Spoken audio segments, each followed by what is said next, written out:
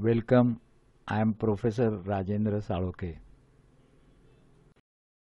I played uh, Benoni defense with many chess engines and engines like Houdini 9 latest uh, version and uh, it was uh, I had a great defeat in uh, many moves but then I found a method uh, which is uh, more comfortable and useful for black so I thought I'll share that method with you. So Benoni starts with d4 knight f6 c4 c5 so in Benoni it pushes the pawn black to uh, c5 offers this pawn as gambit. So obviously the most common move by white is d4 now as per theory I have seen that the most uh, from the explorer data I've seen that b5 is the most common move played by black and after that white plays c cross b5 and uh, these both the pawns become troublesome for black actually. The next po popular move is e6 now what happens is if you play e6 white captures this. And now you cannot take with the d pawn because then there are chances that uh, white will exchange the queens and you disturb your castle also. But anyway we are in this game we are disturbing the castle. So you have to take the pawn with a pawn like this and you create a hole here at f7 not very bad actually but somehow I was not comfortable with this move so I found out the third choice which is d6 and then I was very comfortable. Stopping his white pawn there. And then white will play knight c3 supporting this pawn. Now you can play e6 because now he captures the pawn with the d pawn then you can capture with bishop. And you are comfortable your uh, bishop is developed also. Uh, bishop g5 obvious reply is bishop e7 so defending this knight. e4 very common move e4 most of the games I found that white plays this e4 knight oh. Now there is a very tactical move here. I just made the move and then said it. Very tactical uh, move is available here which is knight cross d5 now what the white thinks immediately and many times I've seen that the players feel that if you capture the black bishop with uh, white bishop. Then uh, you uh, black will capture with the queen and knight also will go. But it's not that because if it captures uh, oh here he has captured this but if he captures with the bishop then knight can capture that bishop. So you get one pawn uh, so it's not wise actually to capture but here is captured the knight and black has captured the bishop.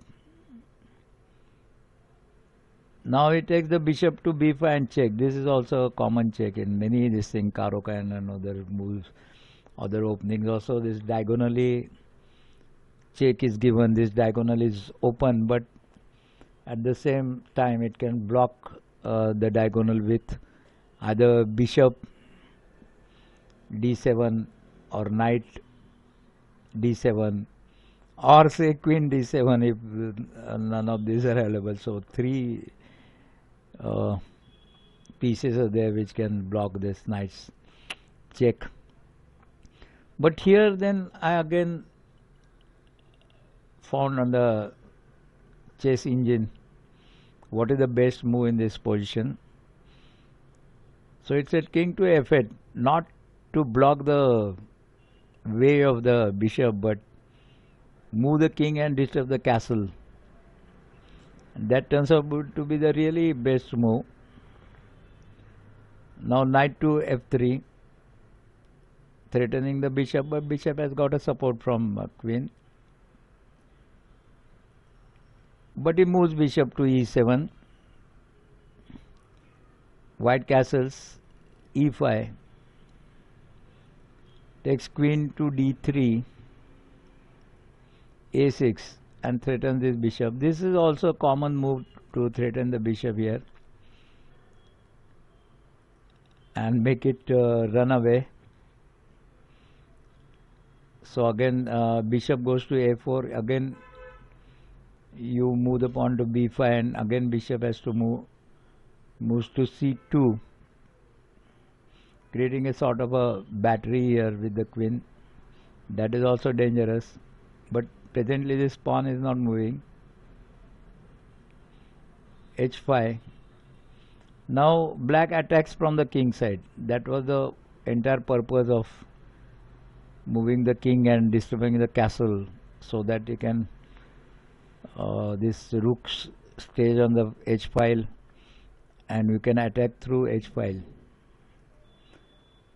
Black thinks of attacking from the queen side. H4 b4 h3 is not uh, white has not taken any cognizance of this. Uh,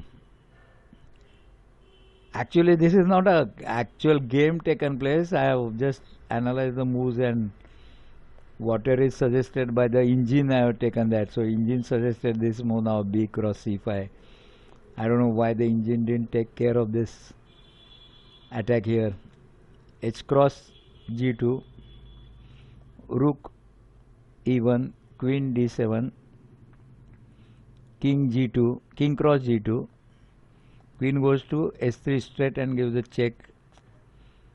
With the help of this bishop king goes to g1 bishop goes to g4 threatening this knight takes the bishop d1 to support the knight. Bishop g5 and he wants to take of course the bishop here to f4 and attack this pawn on h2 c cross d6 bishop f4 bishop e2 bishop cross h2 king goes to h1 bishop f4 and check from the queen king g1 and queen to h1 and checkmate